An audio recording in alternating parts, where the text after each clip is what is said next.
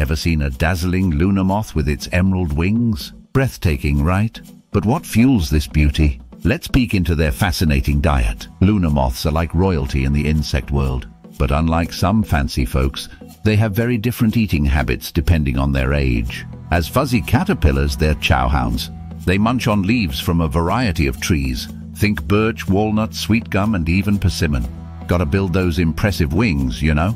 But here's the surprising part. Once they transform into adult moths, the feasting stops. They have a special adaptation called a vestigial mouth. Basically, it's there but doesn't work. So, adult Luna moths live off the energy they stored as caterpillars, focusing solely on mating before their short lifespan ends. Pretty amazing, right? Let us know in the comments what other cool insect you'd like to explore.